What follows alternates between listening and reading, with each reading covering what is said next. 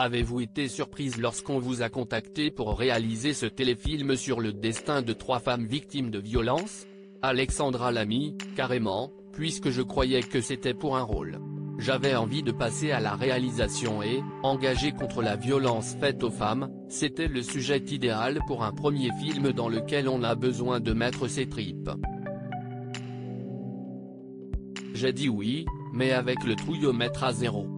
Ce qui m'a plu, si est d'évoquer la reconstruction. Si ce film permet à certaines d'ouvrir une porte pour être aidées, ce sera déjà gagné. Comment avez-vous dépassé votre peur? La peur, si est pénible et ça paralyse. Ce qu'il faut, si est bosser, ça paie toujours. Je ne suis pas un génie de la réalisation, mais je sais fédérer une équipe. Un bon réalisateur, si est aussi quelqu'un qui sait choisir ceux qui sauront traduire sa vision.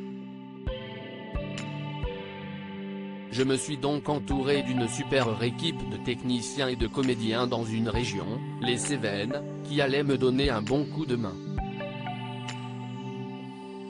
Cela vous a-t-il rassuré de tourner dans le Gard de votre enfance? Évidemment.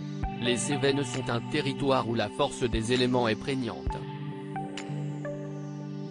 J'aimais aussi l'idée de déplacer l'histoire en province car la violence est partout. Même dans les plus petits villages, les associations sont présentes, ce qui prouve que nous vivons dans une France généreuse, avec des gens bien. Dans la même logique, vous avez fait appel à Mélanie Doutet, votre amie, et à votre fille, Chloé Joannet. Avec seulement 23 jours de tournage, je voulais des comédiens bons, pro et sympas. Mélanie s'est imposée tout de suite, on a éclaté en sanglots comme des gamines tant on était heureuses de travailler ensemble.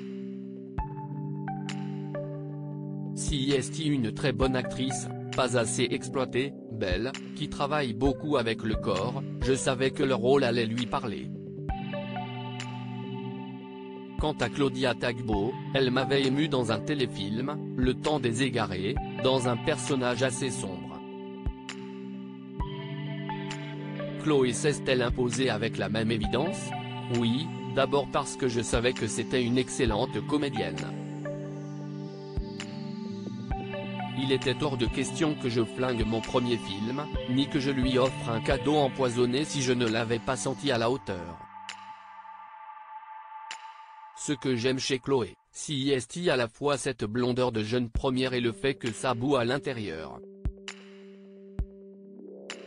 N'avez-vous pas été gêné par ces scènes très intimes? Elle, oui.